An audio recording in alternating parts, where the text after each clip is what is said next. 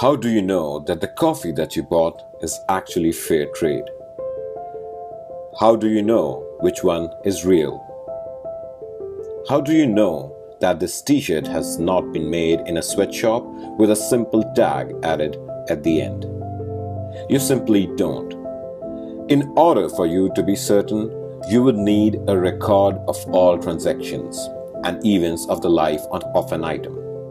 That would be possible with blockchain. What's a blockchain? That's a fancy word. Blockchain is related to Bitcoin, the cryptocurrency. Initially, it was made for financial transactions, but it is now revolutionizing the business world, especially supply chain. It's just like Google Sheets. With regular transactions, there is a middleman like the bank that registers this transaction, a centralized system like Microsoft Word, but with Bitcoin, transactions are between user to user. So when there's a transaction, the information is recorded in a shared ledger or block. And these blocks are linked together to form a blockchain, like a shared Google Doc. Transaction accuracy is driven by the fact that consensus creates truth. In a blockchain database, every participant or node maintains a copy of the shared ledger.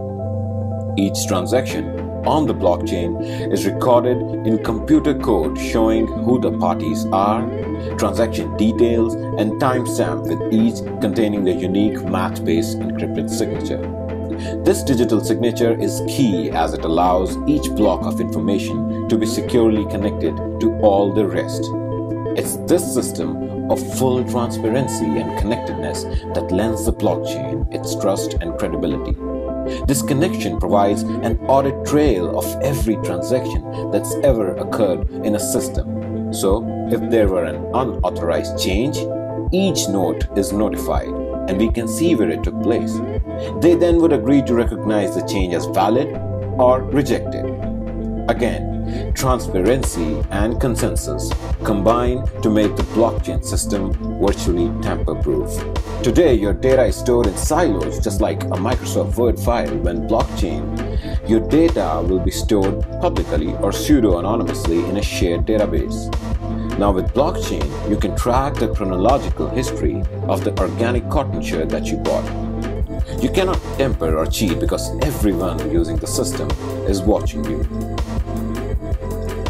The blockchain revolution isn't going to happen overnight, but it is expected to change our lives like the wheel did, or the electric motor and the internet itself.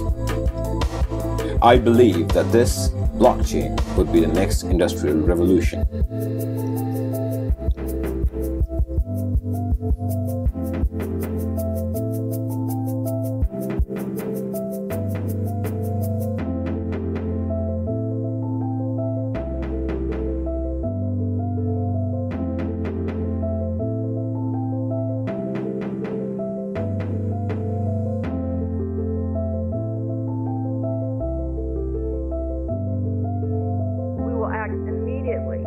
More troubling aspects of this report with respect to alcohol use and the anecdotal references of